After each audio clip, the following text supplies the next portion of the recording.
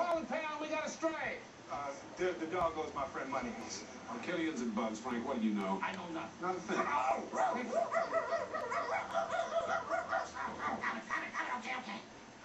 Rosenberg wasn't some two-bit Arquillian. He was the guardian of the whole galaxy. And they thought he'd be safe here on Earth. And the bug had other plans. The galaxy is the best source for subatomic energy in the universe. If the bugs get their slimy claws on it, kiss their Achilles goodbye. Ask him about the belt. Rosenberg said something about a galaxy on Orion's belt. What's he talking about, Frank? Beats me. Beats you. Get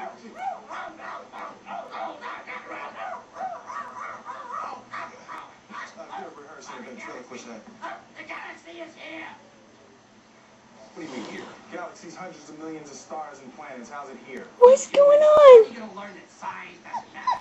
Just because something's important doesn't mean it's not very, very small. How small? Tiny, like the size of a marble or a jewel. Now, if you'll excuse me, I gotta be walked before my flight. All right, get out of here. Wow. Never seen a dog that likes TV like this before. Oh, it's okay, baby. Calm down.